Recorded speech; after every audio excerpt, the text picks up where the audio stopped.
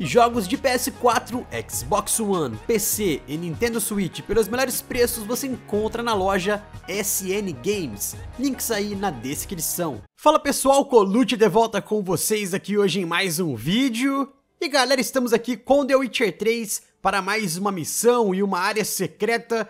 E essa aqui, galera, eu considero que talvez seja a missão e a área mais secreta de The Witcher 3, porque realmente quando eu encontrei essa área pela primeira vez, foi muito na sorte e até hoje eu não encontrei outro método de você chegar até ela a não ser procurando mesmo e tendo ali um pouco de sorte nas áreas de Novigrad. Eu já trouxe a localização desse local aqui há muito tempo atrás, há quatro anos atrás no canal, então creio eu que muitos de vocês não conhecem e nunca viram esse vídeo, então não sabem da localização dessa missão e dessa área, porque realmente, pessoal, é algo bem, bem escondido, bem secreto. Eu vou deixar aí a localização certinha para vocês no vídeo, mas pessoal, essa missão se chama Um Tomo Sepultado. Como eu falei, eu nunca encontrei um método de você ativar essa missão, é, a não ser chegando até ela, então realmente é muito complicado, pode ser que tenha outro método de você iniciar ela, só que até hoje eu só consegui iniciá-la chegando até o local, então se você souber um método diferente, comenta aí nos comentários, por favor. Mas enfim, pessoal, chegando nessa área do vídeo que vocês estão vendo aí, vocês vão encontrar um NPC que tá olhando ali meio que um caixão, meio que uma tumba, e ele quer encontrar um pergaminho, ele disse que tem um pergaminho ali dentro.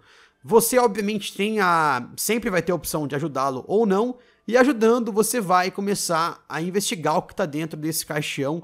E você vai abrir e vai ter um, um ser humano ali deitado, um cara que está simplesmente dormindo.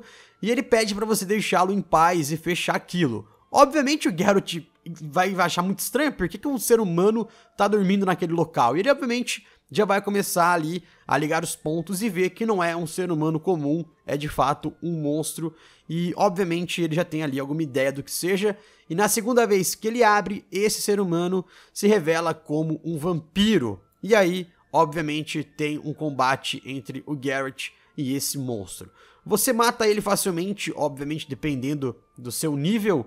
Eu acho que ele é nível 11, se não me falha a memória. Não é um combate tão difícil assim. Só que matando ele, você não consegue ter acesso ao pergaminho, porque obviamente o NPC precisava de informações do local desse pergaminho e quem poderia saber era esse vampiro. Eu não sei se tem como você encontrar de fato esse pergaminho, eu acho que não. Então, realmente deve ter, pode ser que tenha algum outro desfecho nessa missão que leve até esse tal pergaminho, mas eu acho que não tem, cara. Então, se você souber também, comenta aí embaixo. E pessoal, uma curiosidade bacana é que esse vampiro é o vampiro que aparece em um dos trailers de The Witcher 3.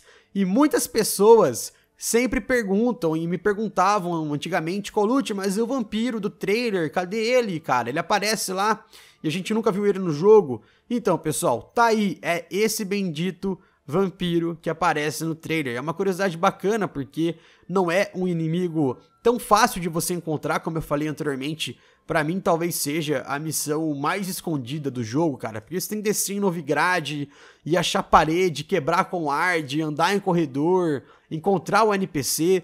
Não é uma missão que tem um acesso tão fácil. Então, obviamente, vou deixar a localização para vocês. Mas realmente é uma curiosidade bacana. É uma missão legal porque eu, pelo menos, gosto desses combates contra vampiros. Eu acho que são monstros divertidíssimos de você enfrentar e você ver. Então, quando eu vejo um vampiro desse, eu fico bem bacana de enfrentar. Muita gente tá achando que poderia ser um vampiro superior e tal, mas não, pessoal, é somente um vampiro comum mesmo, que tava ali em Novigrad, né? É obviamente tomando o sangue do pessoal e ele descia ali no seu no seu caixão, enfim, para descansar e repor as suas energias durante o dia. Beleza? Bom, pessoal, então é isso. Essa aqui aí é mais uma missão, é mais um desfecho diferente de The Witcher 3. Comenta aí embaixo se você souber de alguma missão secreta, de algum desfecho diferente, alguma coisa que seja curiosa sobre The Witcher 3 que eu não trouxe pro canal até hoje. Comenta aí, pessoal, vocês me ajudam bastante com esse tipo de comentário. É algo bem bacana, me ajuda na produção dessa nova série, então conto muito com o apoio de vocês. Beleza? É isso aí, pessoal. Eu vou ficando por aqui. Vejo vocês no próximo vídeo. Até lá, valeu, falou e cia!